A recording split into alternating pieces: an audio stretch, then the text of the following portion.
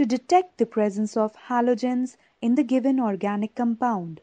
It is a general test for the detection of halogens in an organic compound. These elements are covalently bonded to the organic compounds. In order to detect them, these have to be converted into their ionic forms. This is done by fusing the organic compound with sodium metal.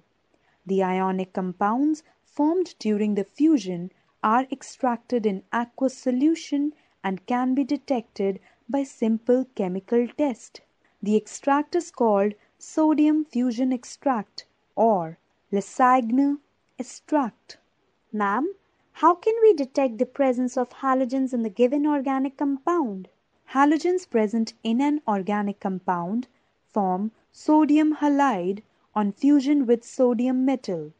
Sodium halide extracted with water can be easily identified by adding silver nitrate solution after acidifying with dilute HNO3. If chlorine is present, a white curdy precipitate soluble in ammonium hydroxide solution is formed. Na plus Cl gives NaCl. NaCl plus AgNO3 gives AgCl plus NaNO3. If bromine is present, a yellowish white precipitate sparingly soluble in ammonium hydroxide solution is formed. Na plus Br gives NaBr NaBr plus AgNO3 gives AgBr plus NaNO3. If iodine is present, a yellow precipitate insoluble in ammonium hydroxide solution is formed. Na plus I gives NaI NaI plus AgNO3 gives AgI plus NaNO3. Let's do an experiment to detect the presence of halogens in the given organic compound. Our aim here is to detect the presence of halogens in the given organic compound. The materials required are ignition tube, burner, test tube holder, test tubes, test tube stand, beaker, organic compound, hydrochloric acid, CCl4, AgNO3 and HNO3 etc.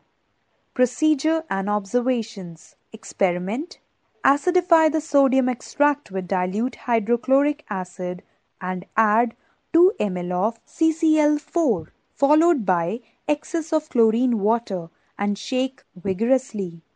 Observations If orange color appears in CCl4 layer, inference Br negative confirmed.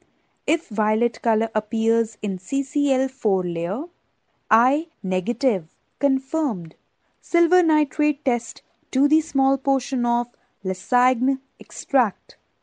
Add a few drops of dilute HNO3. Boil the solution, cool it and add AgNO3 solution. Formation of white precipitate soluble in NH4OH solution. Cl negative confirmed. A pale yellow precipitate sparingly soluble in NH4OH. Br negative confirmed dark yellow precipitate insoluble in NH4OH. I negative confirmed. Precautions Soak sodium metal with filter paper before using. The piece of sodium should not be thrown in water. During the experiment, the ignition tube must be dry. Do not touch sodium with wet hands. Repeat the fusion thrice at least so as to ensure that the reaction has taken place properly. Thank you, ma'am, for this knowledgeable experiment.